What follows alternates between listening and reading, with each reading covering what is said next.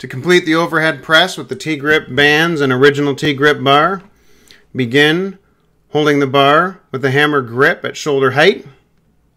From this position, press overhead, extend your arms all the way. Then, in a controlled manner, return to the starting position and repeat the exercise.